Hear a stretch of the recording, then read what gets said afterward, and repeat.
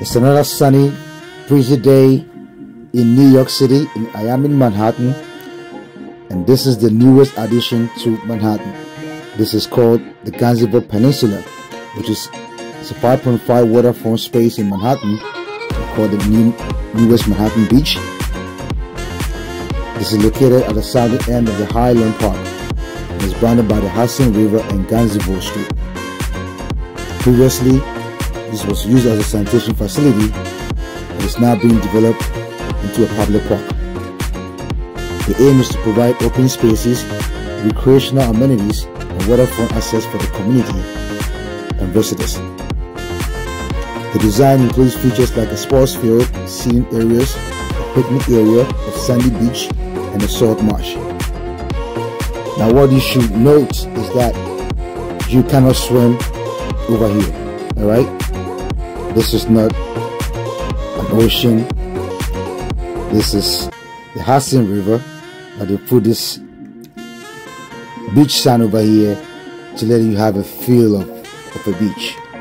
But this is a place that you cannot swim. So basically you can come sit here, enjoy the breeze of the Hudson River, maybe suntan or something like that, and sit in the park and just soaking the Manhattan view.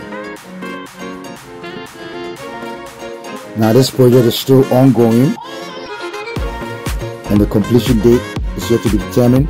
But once this is finished, this Gansevoort Peninsula will provide a unique waterfront experience and contribute to the urban landscape of New York City. So, ladies and gentlemen, this is Manhattan's new beachfront. Alright, can come down and just hey, come have and feel of this place. But it, it's still, like I said, it's still ongoing, so it's not fully developed. But they have the beach open right now, which is, which is open this October 2023. So it's the newest addition. Thanks for watching. And subscribe to my channel.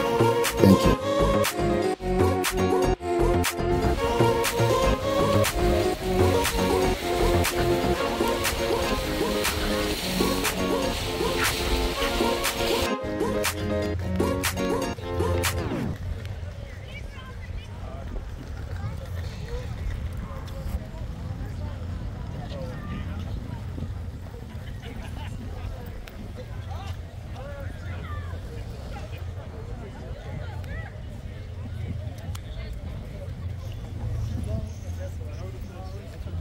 Get exposed.